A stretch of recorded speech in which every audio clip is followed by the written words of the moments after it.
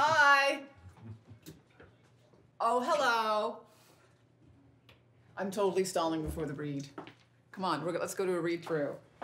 I slightly, I won't lie, I shit my pants before the read through. I'm like the first one to get the book.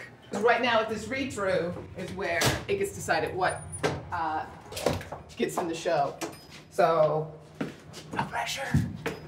Hi. We're going to the read through. Oh, oh, good. What do you guys think of the read through? Um, think it's very good. We don't get to go very often.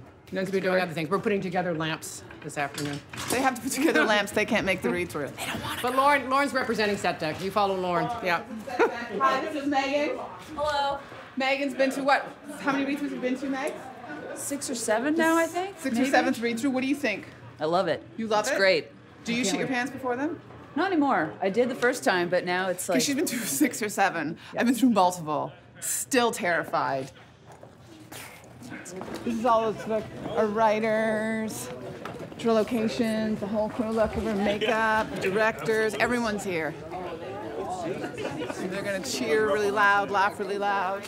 Usually the actors do a really good cold read. They don't have much time to to read it, you know, because it's often they're making the book between 11 and and 1, so the actors have a very short time just to go through the 40 sketches and try to do a good read, but they generally do a really good cold read.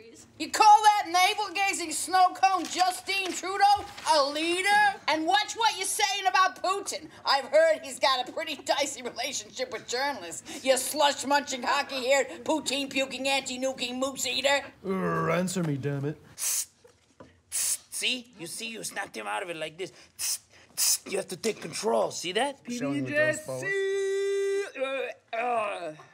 Amanda takes a juice box, squeezes and tries to catch it with her mouth. If you bring up residential schools with Devin, he won't mince words. School sucks today. Goddamn them all. I was told we'd rocket to the stars like a ferret on blow. We'd fire on three to fight gravity. Cause I'm a rocket scientist on a Canso They got me by the private hairs. Ah! Hey, that was the lead, everybody.